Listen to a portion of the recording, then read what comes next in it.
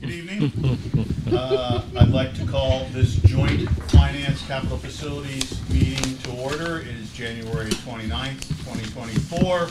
Um, We have with us from the Finance Committee, uh, Ms. Campbell, Ms. Meeker, and myself. And from the Capital Facilities uh, Committee, we have Ms. Higgins, Ms. Walsh, and once again, myself.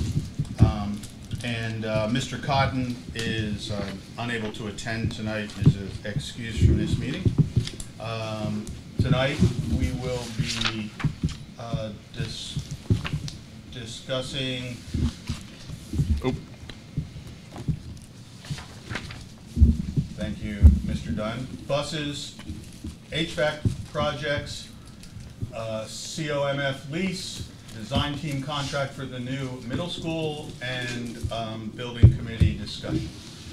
Uh, With that, I will, uh, unless somebody has something they want to bring up, I'm going to turn it over to the superintendent and Mr. Dunn. Well, I'm going to turn it right over to Jack because we want to get started on the, um, the bonds that you have to, before you tonight. Excellent. I guess I should mention that Mr. Cashman, uh, Mr. Dunn, Ms. Wolf, and the superintendent are here tonight as well. And I appreciate everybody coming out on a snowy day. Okay. We'll start off with the first item, which is buses. I think we mentioned you before that uh, we have an aging fleet. Um, This is the list that has been provided to uh, us from the uh, Transportation Director. And um, considering that we're go- con- going out to bond, we know at a minimum we have to go out and take care of what you um, look to reimburse yourselves from July, which we'll talk about in a minute. But in this upcoming budget, we have proposed um, replacing um, about 10 buses, I think, is what we're looking at, to try to catch up on these, from these older buses. It's about one and a half million dollars worth of buses. And the youngest of the buses is ten years old. Yep, and that's typically about how long we go with them. Um, we've been having discussion about, because of COVID, we didn't put as many miles on some of the buses. Um, so we'll see as you get into your budget if you want to try to adjust this at all. But that's what they've requested. And the payment you'll see for all of this is in the budget you will see next Wednesday. Okay, thank Okay. you, Mr. Dunn. I see that we have, the buses are typically between 100,000 and 200. Yep. A little over 200,000 miles uh, as of the beginning of the school year. So they're probably a little higher now. A little bit. Um, so the, uh, the request would be for the, uh, Finance Committee to make a recommendation to the board to include this. If you are ready to do that. Uh, let's have a discussion first. Would we take delivery of all the buses at once, or, and when would we, or would it be staggered? They're nine months to a year out before we'll even get them from the time we order. And when we would expect to order after the? After your budget, yeah. Yeah, you guys still gotta do a bond and everything. This is just saying, So we we're like the really talking idea. maybe like most, the end of next school year, probably for the buses, maybe? Um, between, I would say between January and June. Unless- 2025? Yes, twenty twenty-six. No, I'm sorry, twenty-five. No, you're right. 25. Sorry, I'm jumping ahead. Yeah.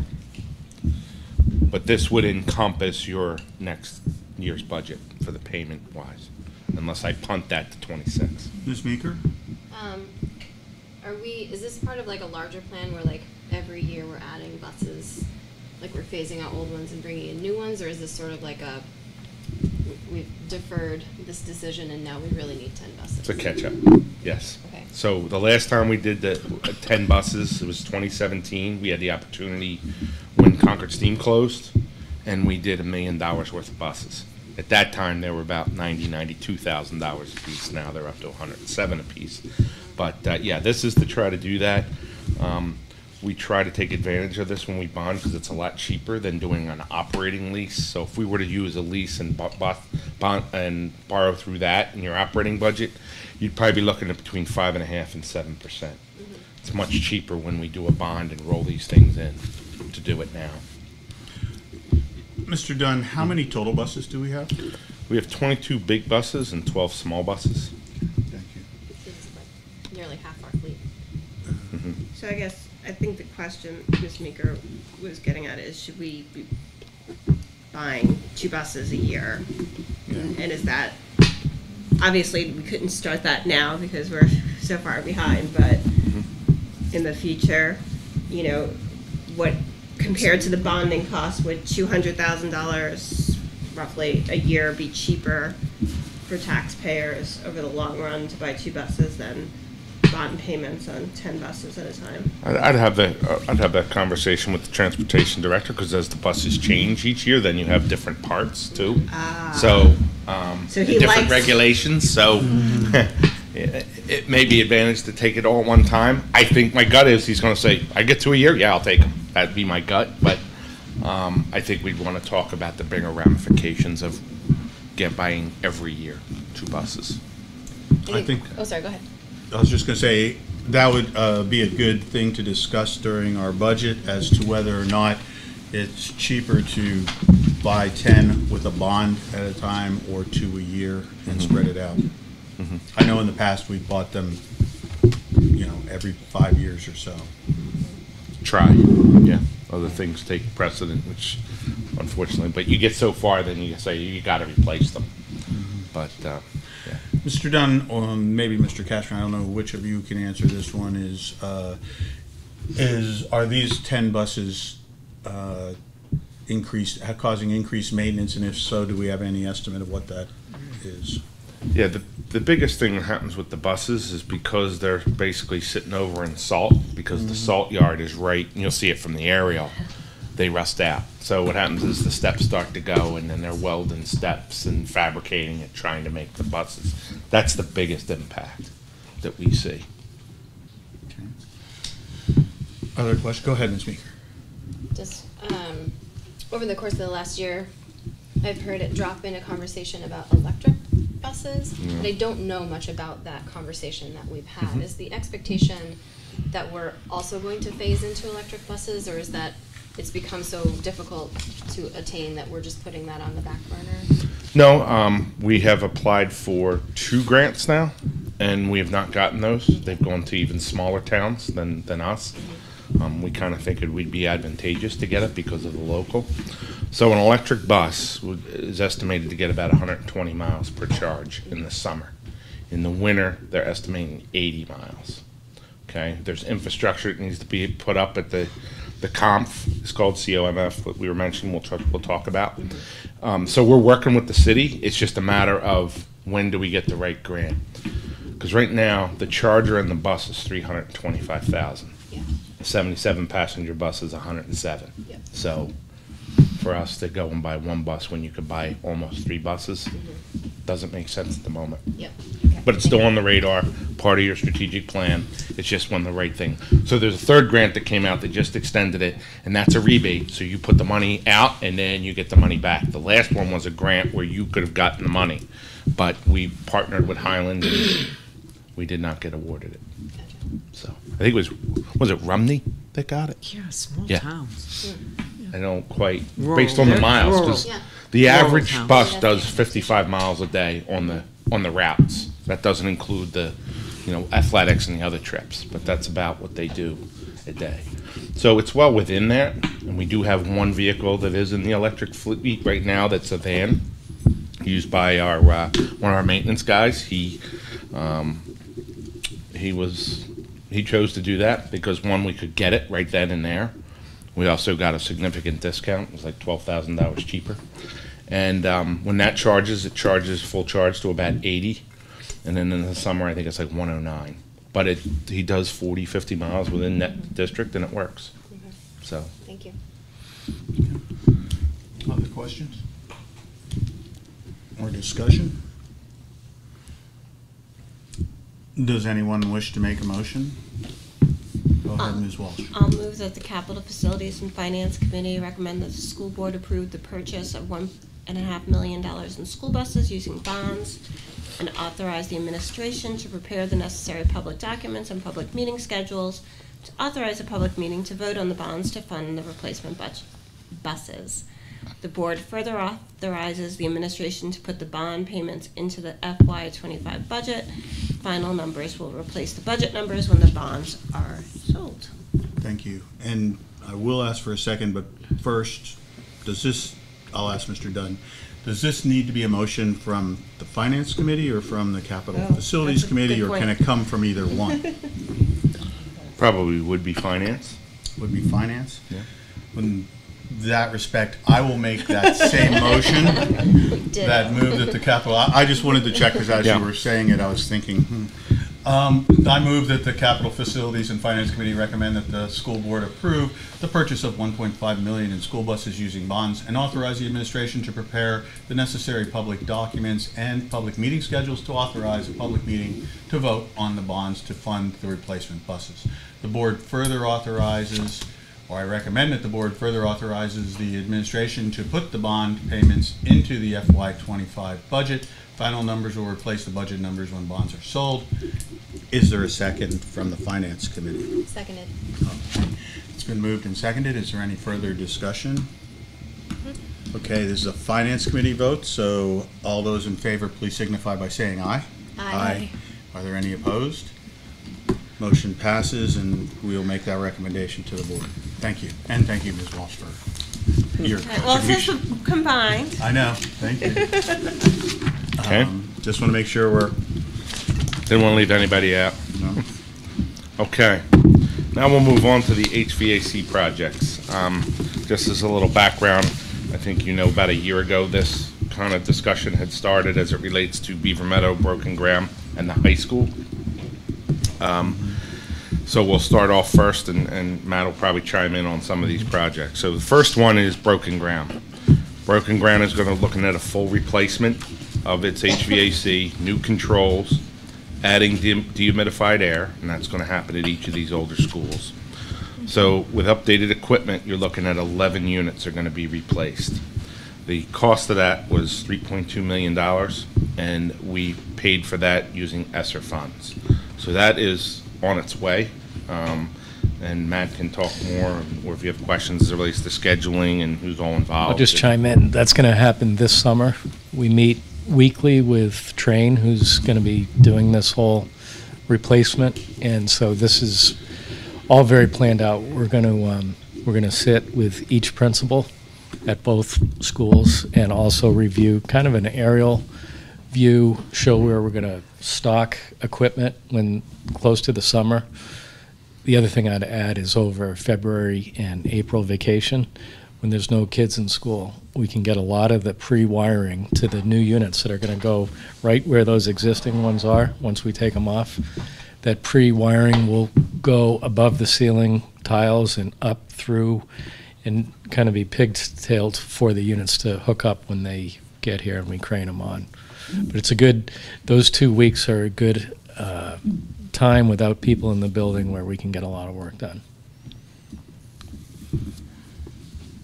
Okay. okay.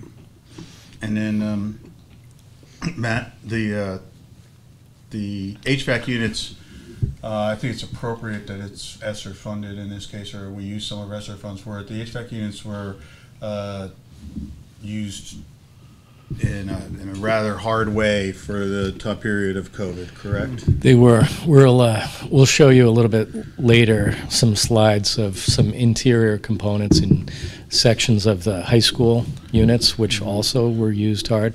But there was a long stretch of time through COVID-19 that we were running those units in full flush mode at 100%, 24/7. So think about, you know, I always refer back to a car, but think if you ran your car like that. They're going to age quicker. Um, So we'll, we'll show you some pictures of that and talk through it when we get to those slides. Any other questions for Mr. Cashman or Mr. Dunn? Okay. okay. Thank you. I'll Proceed. move on to Beaver Meadow. So Beaver Meadow, oh, go ahead. Oh, no, go ahead. Uh, Beaver Meadow, we have seven units. You can see two on the roof, kind of on the bottom half above the gym. You see those two units. But then the rest of them are either in the pitched roof section where you do see that uh, red dot, and then at the tail end, you have two big units right there that are stacked on top of each other. We had a meeting last week. We have been talking with Unitil.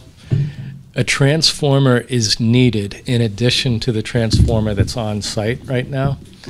That transformer, the initial projection was to get here on August 12th of 2024. So when I heard that, I took a breath for a minute and I called them together and I, I said, that's cutting it pretty close, you know? So we verified that the new units can run off the existing transformer. The new transformer, which now they are saying could get bumped till October, that's going to run the dehumidification of those units. So after we talked about it a little bit, we want to carry on with the plan and replace all those units this summer because we can run them. And if we get lucky, and I'm hoping for a little luck, and that transformer comes in, all of the, you know, wiring from the pole to the site and underground to the building will be done this summer, just waiting for that transformer to get placed on a, on a concrete pad.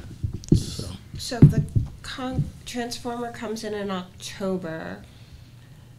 Um, can we turn on the dehumidified air by spring of 2025 when it gets hot? we can turn it on, yes, if it comes in. It's just a little bit, Right. these are coming from overseas and they're outrageous. What did they say? 70? 90 weeks. 90 weeks. Lead time. So, um, you know, that's an awful long time, but I think that if we carry through with our plan, get everything taken out of the attic and on the rooftops and on the end where it's stacked, we have the power to run those, so they're new units. Mm-hmm. And then as soon as, you know, there could be a chance that that does come in in August. And if that does, then we've gotten very lucky. Yeah. But I wanted to be realistic, so I, I talked with, obviously Kathleen, but I talked to the principal of Beaver Meadow, just saying that that's what the situation is. I'd feel much better going into the new school year with seven brand-new units versus throwing repair monies at these to um, keep them running. One of the questions that will come up is in the summer, we offer, you know, extended school year programs. So um, John and his team of assistants will be looking at how we can run those programs and where. So we're, um, you know, the, the weeks will be limited while they're doing work in the building. So uh, we'll keep you posted on how we want to manage that. But we still want to be able to offer those extended summer programs to our s- students. Um, But we'll keep you posted. Other questions?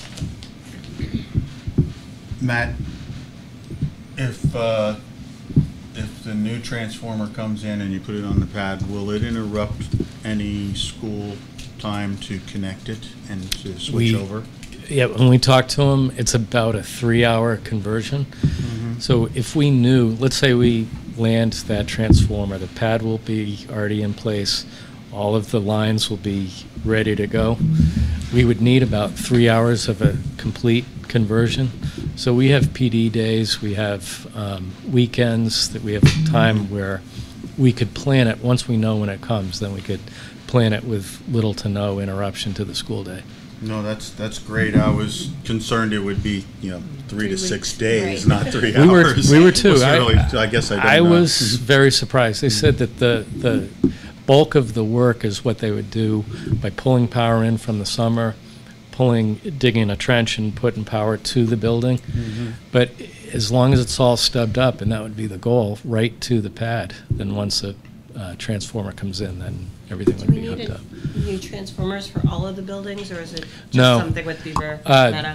With Beaver Meadow, um, as we get and we talk to the uh, Trane about the high school, there may be, they're just, they, they're getting back to us later this week or next to know, but they, their electrical engineers have looked at the high school.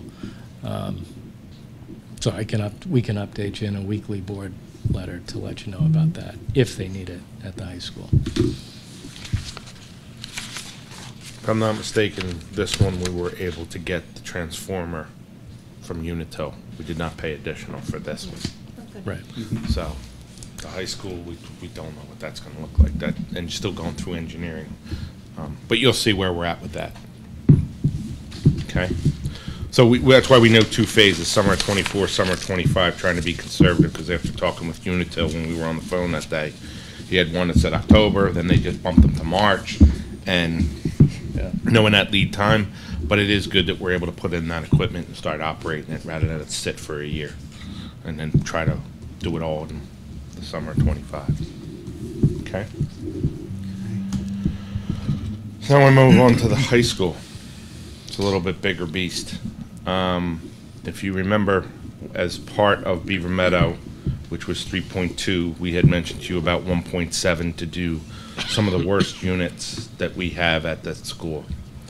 Um, so that'd be four units, and then, um, we count the IT cooling units as one because they're the exact same, but they mirror each other. So if one fails, the other one takes over. So that's why when we said five, it's really six physical units, but the IT is a primary and then a failover.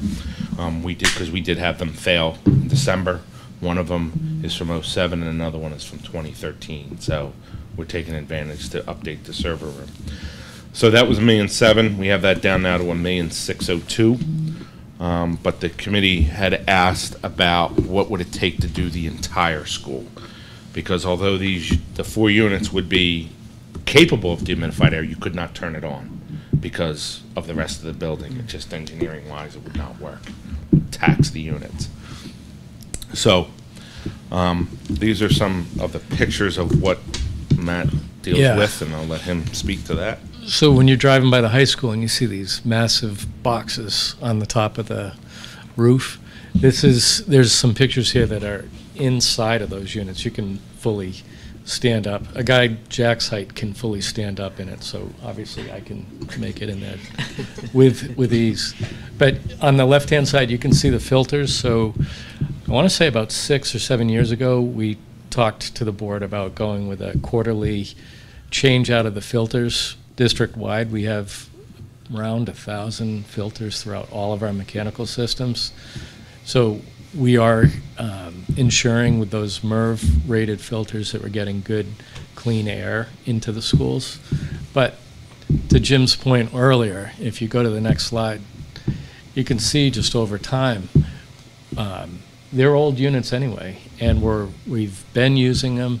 We're seeing the effects of the wear and tear.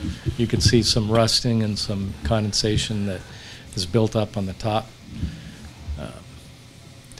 These linkage, those are diffusers. So those diffusers are about three to four inches wide, and they can be eight to 10 feet long. And they, um, they control the amount of incoming air, and they're regulated.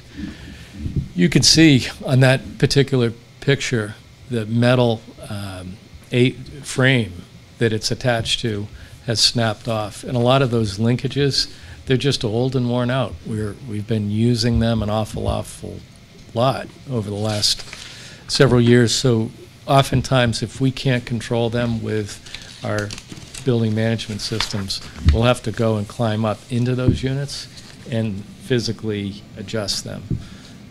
So think of 22 units on that school. That's a lot of, it's a lot of things going on. This is inside the unit. That's a huge fan motor um, for the ventilation unit, but you can see its wear on the side of the outer shell.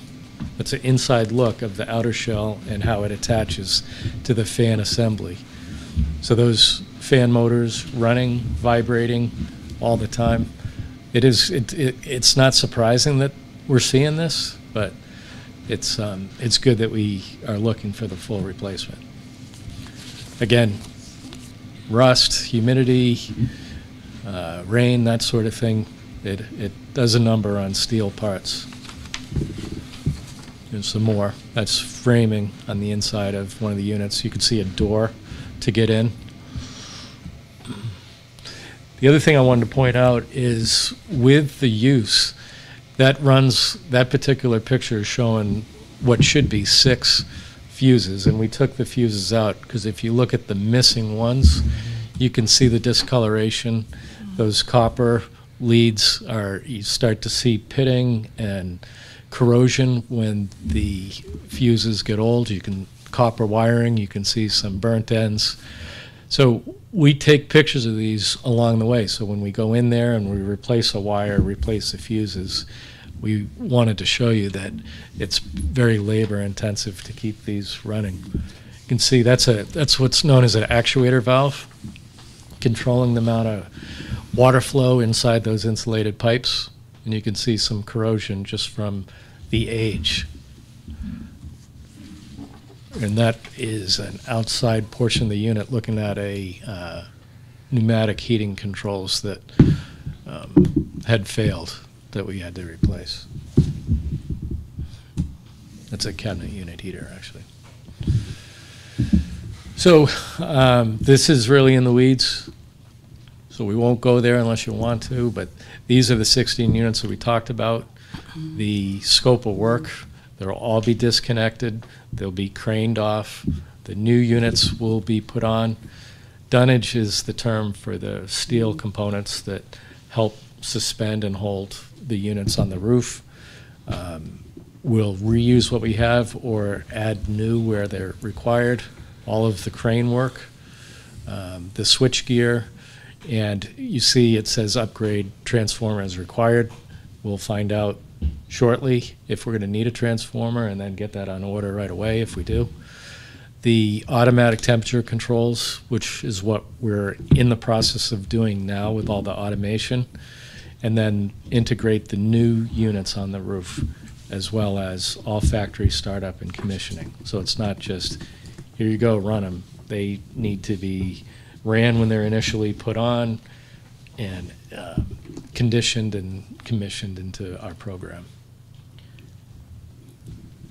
Just for Jess's background, we had a lot of discussions over this last year. And, um, you know, ultimately recommended to the board that the cost of maintaining the units Oh, absolutely. Yeah. was not worth. Yep. The, the original proposal was to phase it in, and we didn't really save much with bonding. Yeah. And we couldn't turn on the dehumidified air, and we were paying maintenance, which is why. Yeah. No, absolutely. The cost of people just fixing this is expensive. I, yeah, we're good. Which is the transformer? Well, luckily, we don't have to pay for the transformer right. from Unitil. Um, I'm just saying we should buy some and then sell them. With a 90 week lead time. I feel like if there's some You've seen how big We, they are. we did offer to go get it wherever it was sitting, and the guy laughed at us. He goes, "You know how many times that gets offered?" He goes, "You don't have a way of getting this." So okay. we tried. I do just want to make a note. Yes, it is an awful lot of money, but if you recall, throughout the, the warmer months when we're in there, you hear the complaints at Broken Ground, Beaver Meadow, and the high school. So just the mere fact we're not replacing in kind, we're replace, we're replacing with dehumidified air. That's going to be such a nice change for the occupants, students, and staff. So I'm very, Yeah, I'm very sure. happy that we're able to make this move. Well, we have, in addition, we have employee uh, concerns about health and well-being that came up. Uh, I have two questions for you, Mr. Cashman. Okay. Um, First, uh, is, will this, you mentioned it'd be controlled, so you would be able to control these from your laptop because they would be integrated into our building management system? That is correct. All right, so that you would be able to adjust, you know, the We can- activate, the actuators for the, You, you would be setting temperatures, changing temperatures, setting schedules. So let's say basketball game on a Saturday that you normally wouldn't run that unit and it's cold and you want to run the heat in the room maybe an hour before the game and an hour after, you'd be able to do that. the second question I have is I look here and I see that really, really nice white roof Mhm. that we installed a few years ago. Uh, Would any of this work cause damage to the roof or require additional repairs or modifications to that roof? No, we're not expecting that. What, what the new units coming on, they're all measured to the curbs from the roof that go vertical. So Broken Ground, which we're going to do this summer, has that same roof. So all those curb cuts, is what they call them, have been measured. So when they're carefully taken off, they do put plywood and other protection down, so if they have to set a unit on the roof, they're setting on it on a set of wood sleepers so it doesn't cut or damage the roof. Mm-hmm. And then when they crane off the other unit, they crane the other one in its place. So it's all pre-fit, pre-measured ahead of time. Okay. And I would assume they have really good insurance for when they lift it. up. Yeah. We Um, could get into I that. would hope so. The other thing I notice, and you can talk to it, or you can tell me that I'm, um, uh, you know, into an area I don't know what I'm talking about. But uh, these units, as I look around, are all, when I looked at the Beaver Meadow units, they seemed to be enclosed uh, under the roof and under a protection. These are not. Is that something that we will change? Is that something that we want to change, or what are your thoughts on that? So we talked about it on Saturday, Yeah. and I Yes, hadn't. but I want to talk Yes, I, here in I was like, when did we have that conversation? Yes, We- we I'd like talked about it just a few days Conversation ago. publicly, Um, or at least get your opinion publicly? So I'm reaching out to some structural engineers just to see the likelihood. When you go and you introduce introduce more weight onto a roof, mm-hmm. you need to make sure ahead of time that you have the proper structure in place. Okay. So that's one. Two, um, we would be disrupting the roof at that point. Mm-hmm. Now I'd have, you know, if we built a shroud out over each one, we'd have to get into the roof so we could fasten it to the roof. So that mm-hmm. that's kind of concerning to me. But then I'd also want to take a hard look at what's the total cost to do 22 units, and is the rate of return worth it? You know, Yes, I want you to take that look too. yeah, because flip the coin here, when you're looking at building a new school, or when you look at the three newer elementary schools, we built, we built space on the roof that's enclosed. Okay. So when you, when you're considering that, if you do it early on in construction or part of the design, I tend to believe it's gonna be a lot cheaper than if you do it as a after, uh, after the fact. Fair enough. Thank you for that Sure. explanation. Does anyone have any other questions for Mr. Cashman or Mr. Dunn on this particular item? This was something we discussed this past summer, summer, fall? I'm trying to remember. And I had thought the full board approved moving ahead with the full, Yeah, you just wanted to Project see the what high the total school. cost I was gonna did, be. Yeah. this is just the financial. the finance, yeah, yeah. And then you make a motion to the full board to say, yep, put it in, get ready to start bonding this Okay. thing. Um, That's what's coming. But are we still wait, is this the final on the high school, or are we still waiting for estimates? Nope, this is, what- so what the high school will be, it'll be the one point seven or one point six oh two, whatever I 1.6, wrote, yep. Plus the fifteen-four for a total of seventeen million. Which is less than we 2,500. originally thought, right? Yeah, originally we were thinking twenty-three, then we Okay. were at 20, 18, and now I'm down to seventeen. Okay. So, but uh, we're supposed to get the engineer's report in the next couple of weeks to finalize it. Um, what's what's going to be needed, and then um, we'll do the bond. We'll prepay and set this up. Okay. So, just as a summary to give you an idea, because as I mentioned early on, this was we planned on putting in your budget, and you're reaffirming that. Um, there's the breakdown of the amounts. Um, and the, uh, first year payment will be one point nine million for the bond for, um, the Beaver Meadow portion that we need to reimburse ourselves. These two combined, because that was the, the four plus two units plus the other sixteen units to make twenty-two total. The buses, so it's nineteen point nine million. Do you have a full bond schedule? I will have those, once you say, okay, then they're gonna plug in each year's, cause I'll have ten and twenty. They gave me a lump sum of tw- about twenty million. So those numbers I expect, and that's based on four and a quarter percent. I expect us to do better once we go out. That's why you'll see in my motions about putting in the correct numbers, cause it probably won't happen till after, but you can always adjust your budget later on. But that's what we'll do and come back to you and say, this is what we budget, this is what it is. I'm trying to get as close as I can, but you know, I, I, I would hope we'd be in the low threes. So, okay. Any other questions? This is one that I believe um, does fall into either of our committees, so if someone would like to make a, a motion. Move that the capital facilities and finance committees recommend that the school board approve the replacement of the HVAC system at Concord High School for seventeen million, two thousand, five hundred dollars, and prepare the necessary public documents and public meeting to vote on the bonds to fund the HVAC system replacement at Concord High School.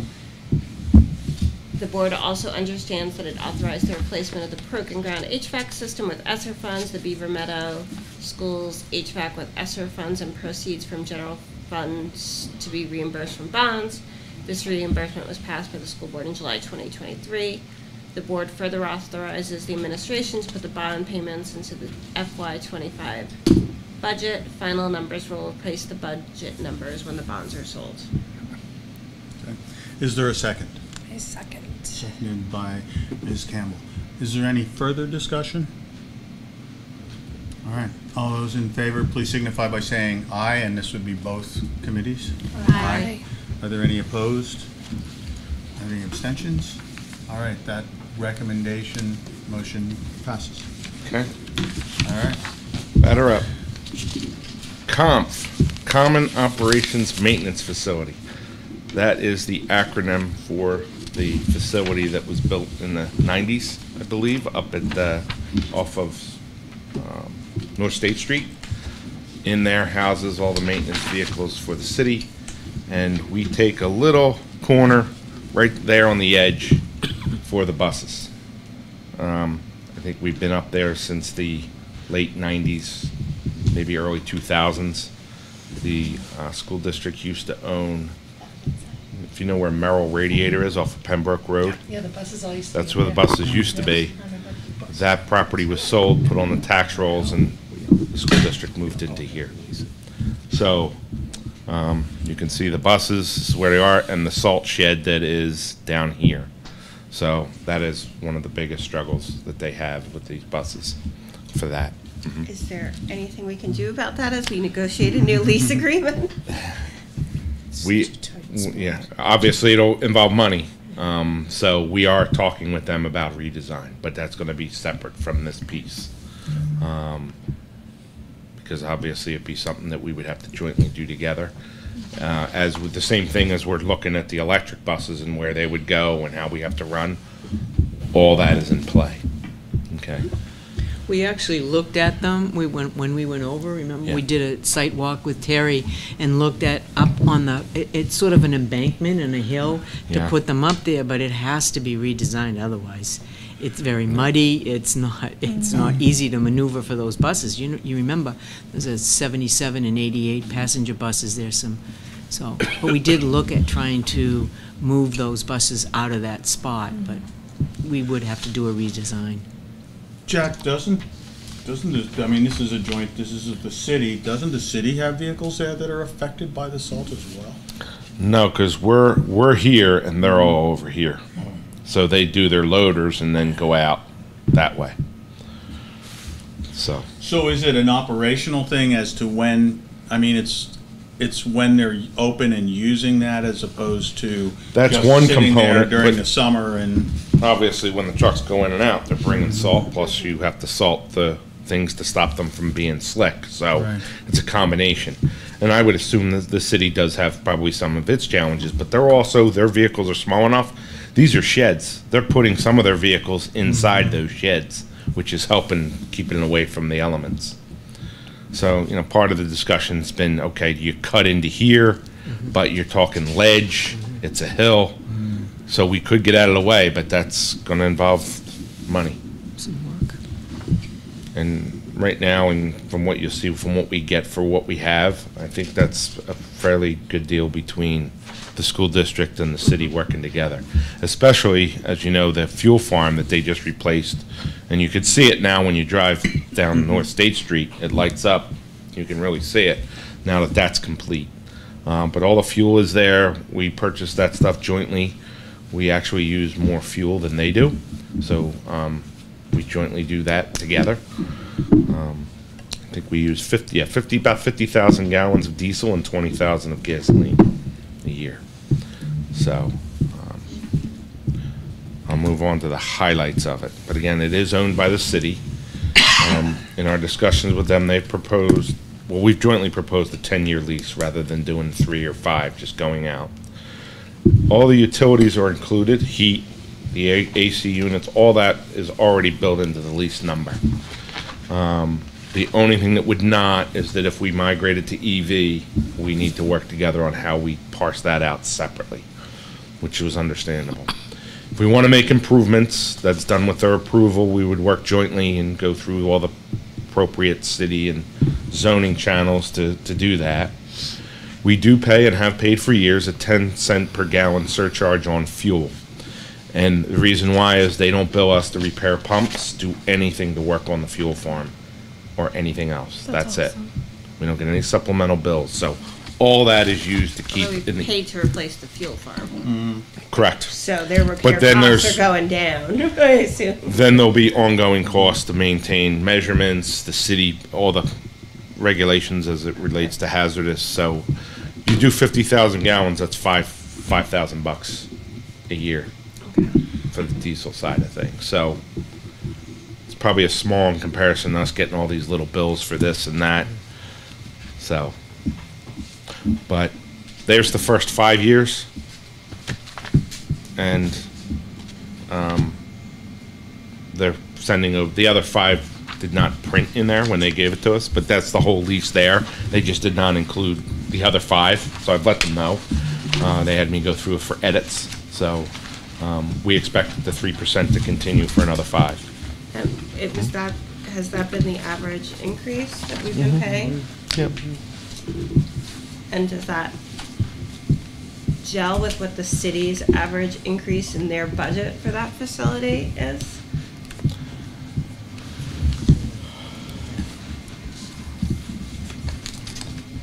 You can look into it, Mr. Dunn, and get back to Yeah, us. I Yeah. mean, if we're paying a three percent increase and they're not increasing their expenditures over their three. Well, I'm gonna guess all their staff goes up. Their Yeah. healthcare costs go up a lot more than ours. I know they're at like sixteen percent, we're at nine point seven. So, um, for what we get and all that parking, if I tried to find this somewhere else, because we had discussions about that. One thing is not embedded in that lease is property taxes, where if we go anywhere else, we're have to pay property taxes because they're gonna be embedded that into the lease. Then we probably would have to set up a contract with the state in order to get fuel unless we say we'll keep things and go all the way over there. The school district did own, um, where a Sandy's Pet Food Store that was bought in the nineties for the purpose of being a transportation center. Um, But, uh, it never happened.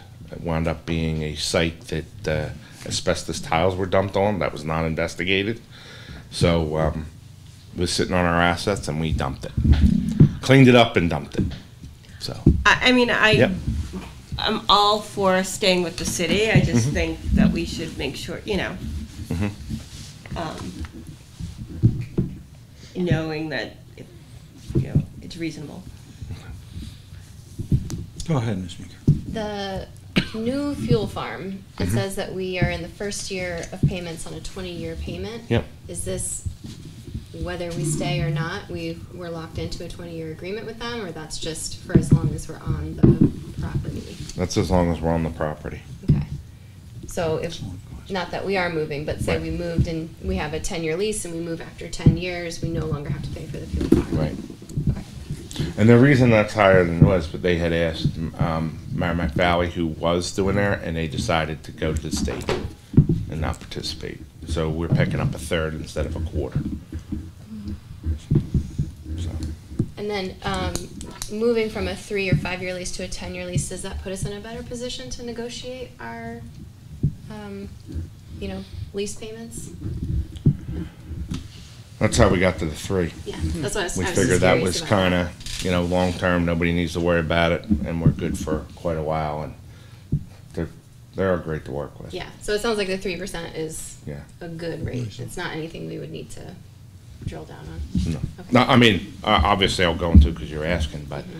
that is what we had come up with. They thought it was fair to taxpayers and they're picking, we're picking up some portion of that. Mm-hmm. Because that's all in there. I mean, you get into electric and heat.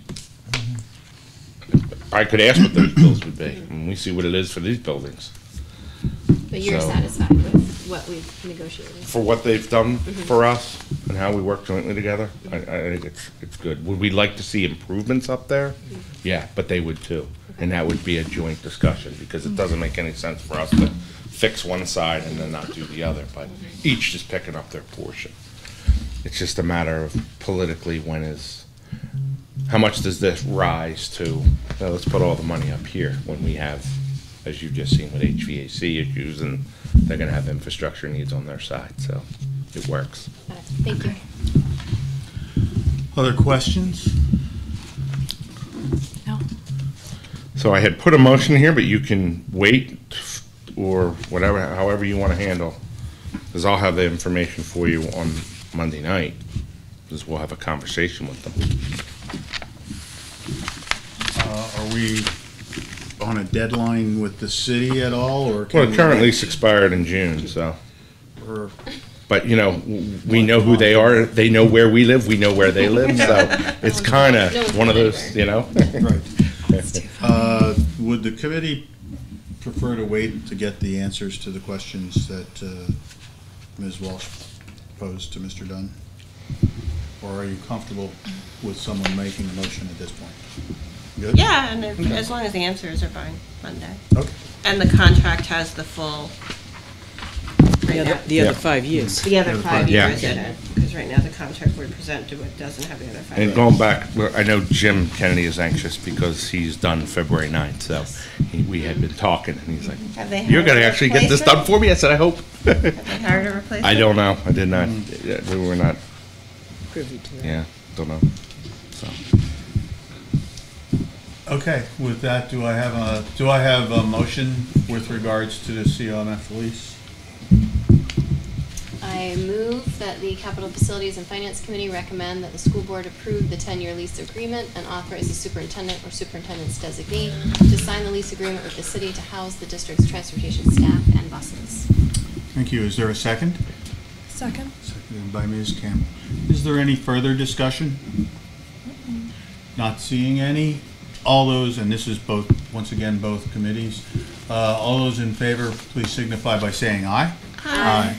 Any opposed? Any abstentions? That motion passes. Thank you. Thank you. Okay.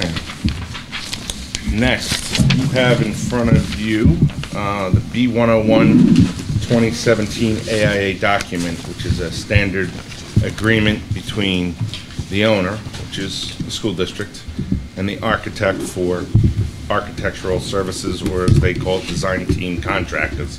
It's not just an architect, it is a whole team of people in that contract lists the various contracts that, or the vendors that they will be using to help design your school.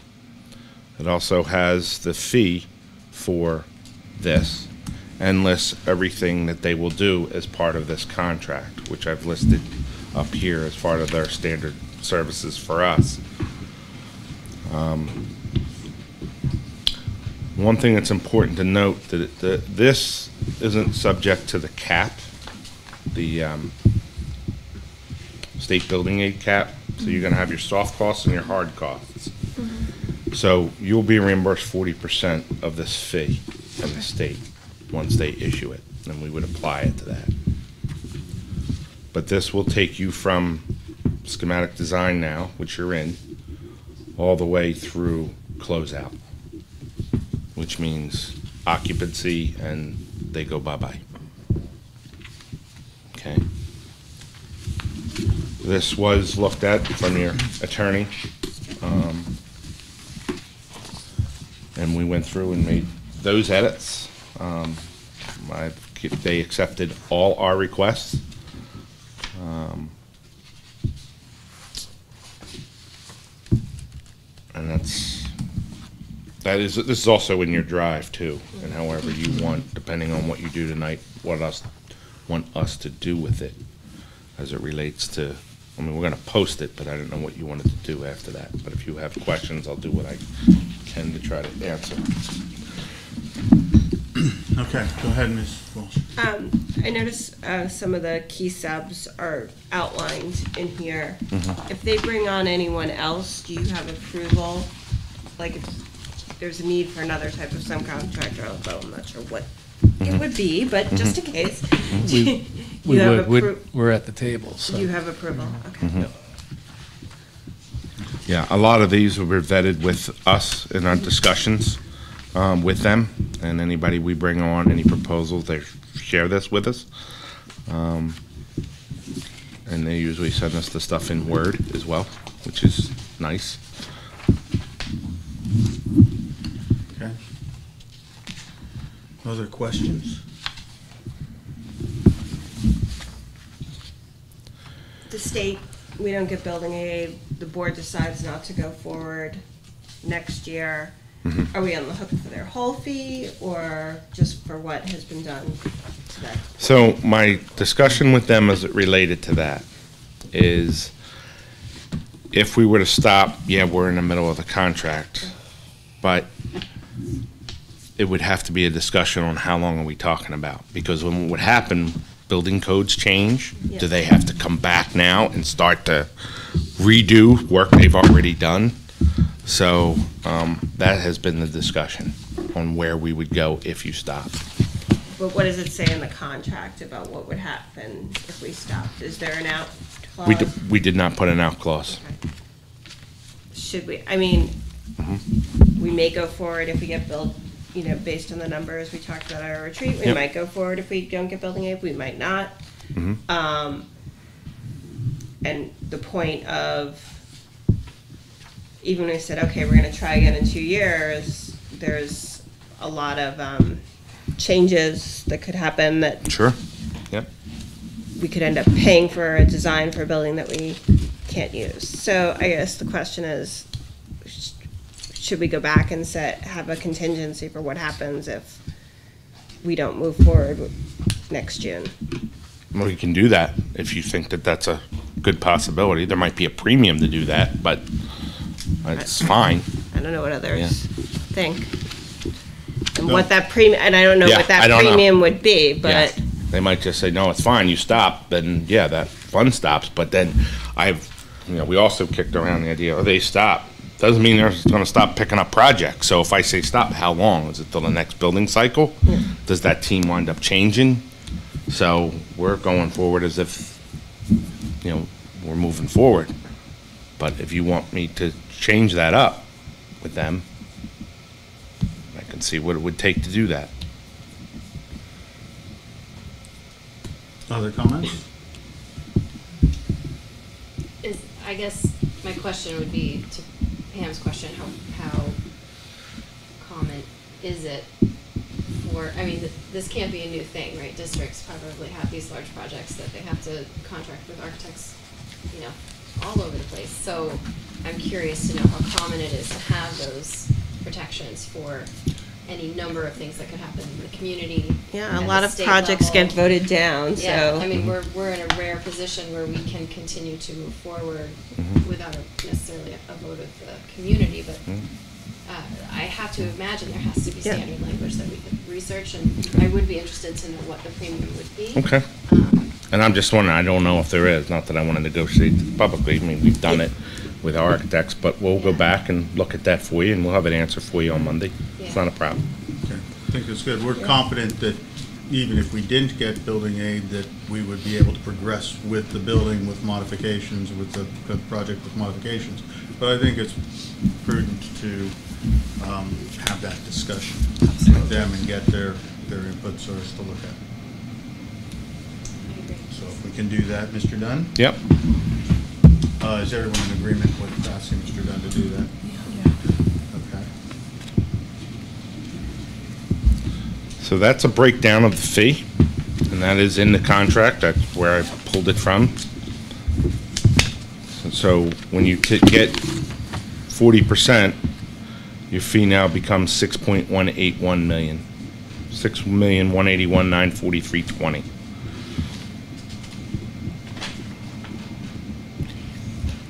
Can you talk about how, and you and I have talked about this, Yep. how this fee relates to sort of industry Mm-hmm. statewide standards, Yep. what- you know, in terms of how it gets set, Yep. and how it relates to what we have in our estimate?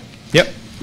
So, um, typical HMFH fee is ten percent of the estimate, okay, construction document.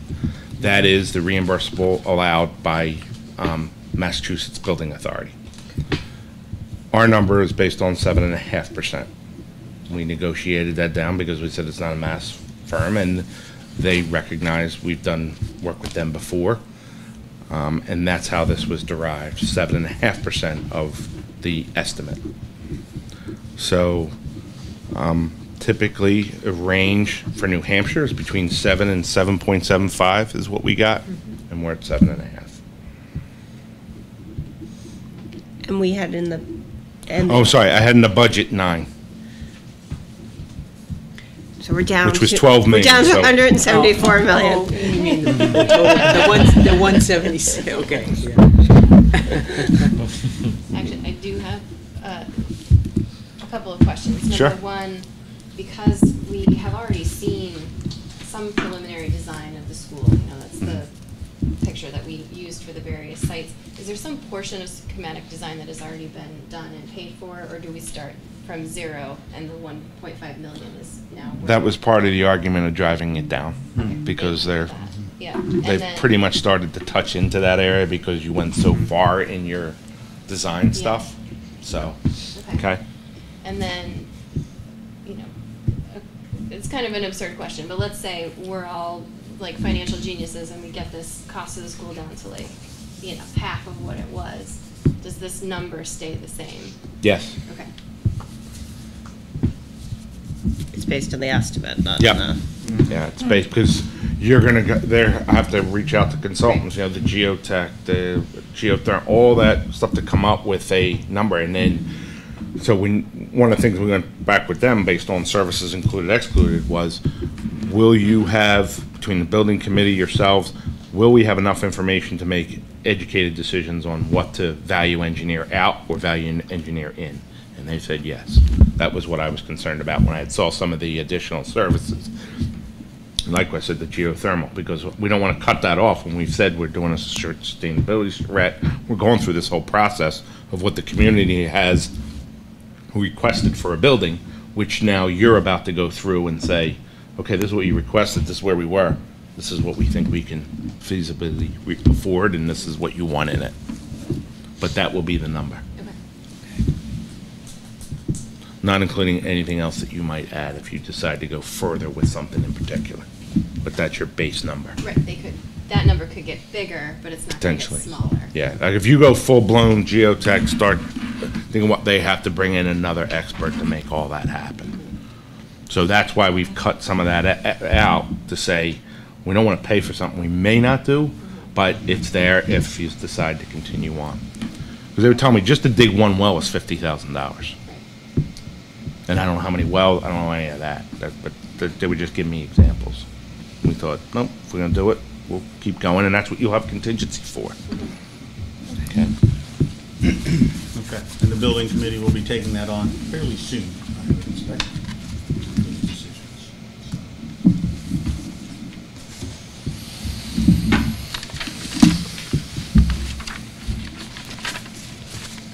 Okay. Does someone care to make a motion?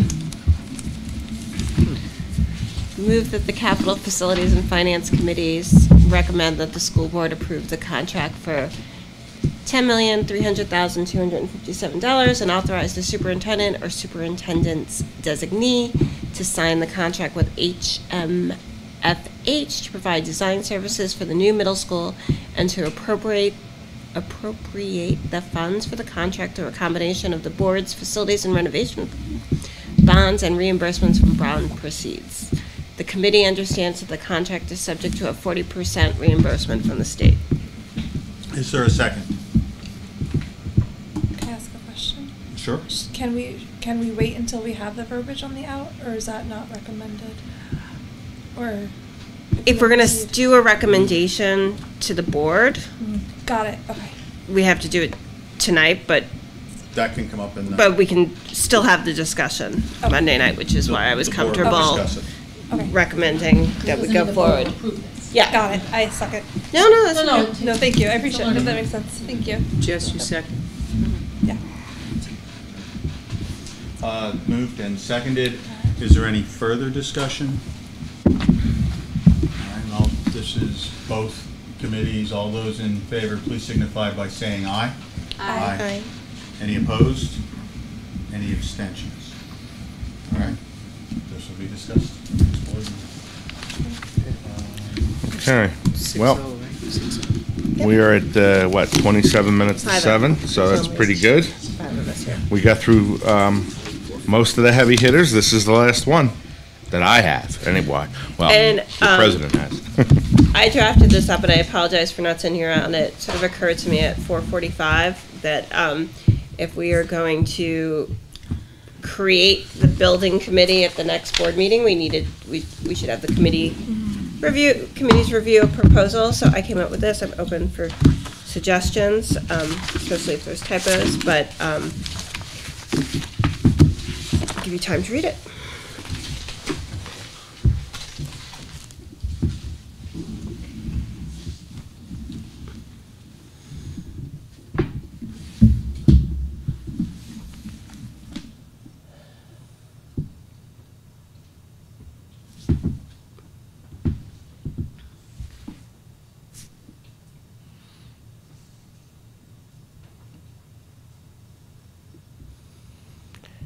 Somebody has a better suggestion for the workflow of the middle school project. I just was trying to get in the idea that not every, the future of the Rundlett site committee wasn't gonna start meeting next Right. week. Mm-hmm.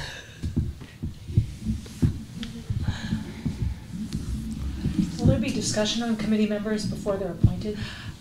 Well, I, I think we did that last week, and I'm open for other suggestions, and I'm also open, was trying to figure out how to keep the process moving, you know, so that's what I came up with based on our other procedures, but if people have a different way they want to do it, we can talk about that as well. But yes, I think continue to have discussions about uh, members. Did you want a, a number? I didn't put the number in at the end of the day because I thought Let's be flexible. let's leave ourselves a little flexibility um, in case we realize we have not. I think we, in our retreat, set as a goal that we thought the subcommittee should have no more than 7 But, you know, I thought it could come up that we realize we've left out an important voice and that we, so that we need to increase the membership and that we should leave ourselves that option. Do we want to leave ourselves an option? This just assigns those committees, um, programming, sustainability, et cetera.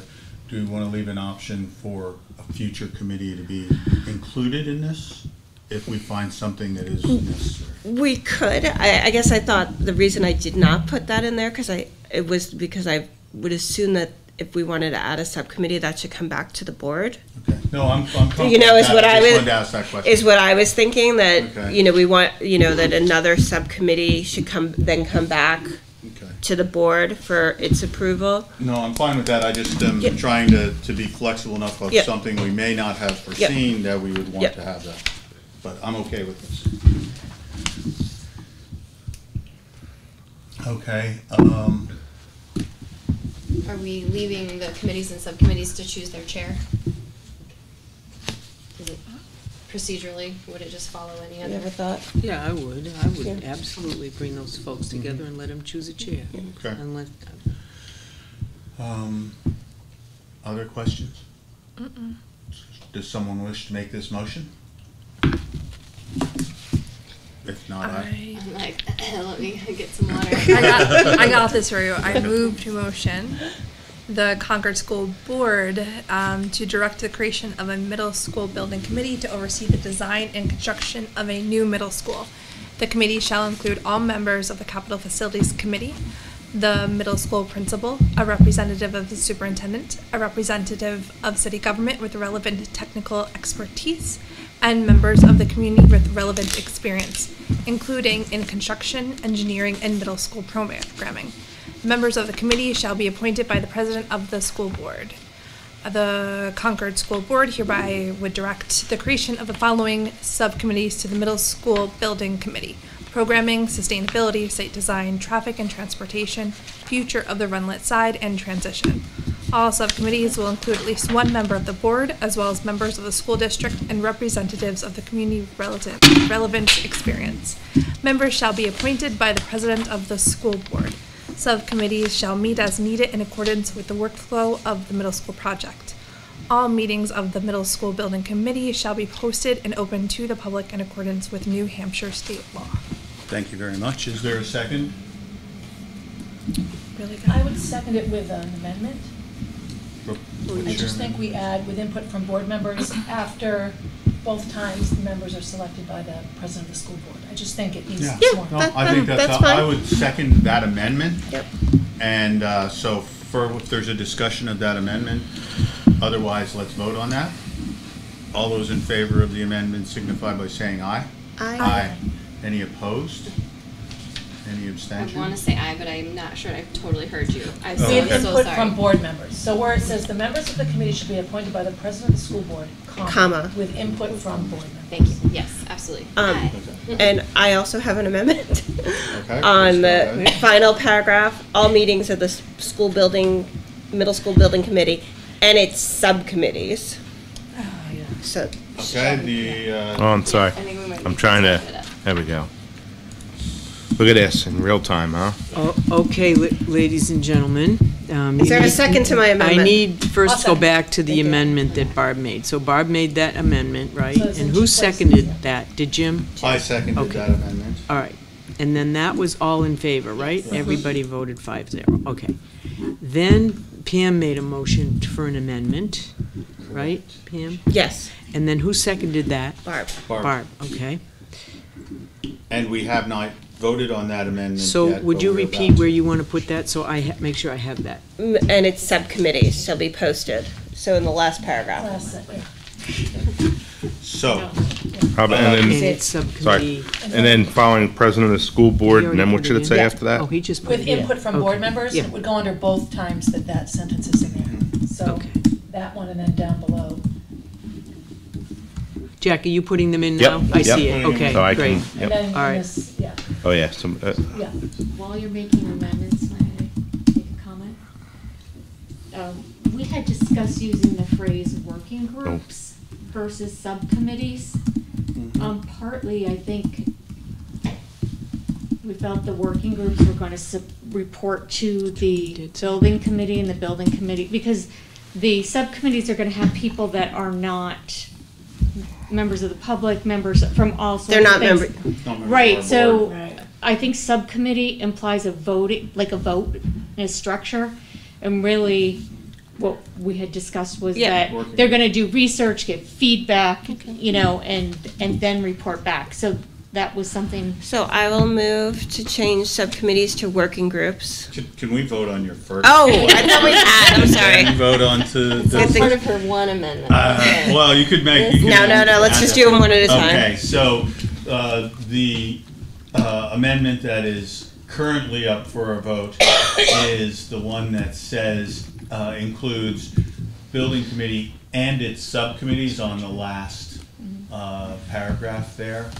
Um, uh, Thank you very much, Mr. Dunn, for that. And uh, so, um, is there any further discussion on this amendment? Not seeing any, all those in favor, please signify by saying aye. Aye. Any opposed? Any abstentions? Okay, that amendment passes.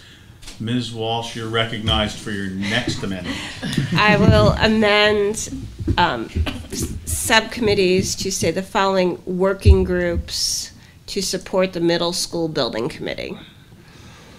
And then change all references to subcommittees to working groups.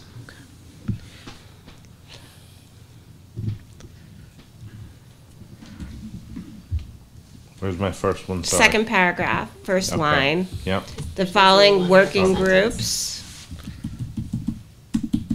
And I added to support the middle school building committee. okay.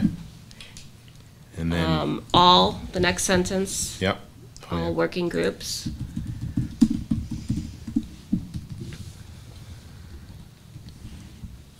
Um, and then Right there. working groups shall meet. And then, It just sounds better too. and then in the last, where we just changed, amended it to add subcommittees, let's amend those to working groups.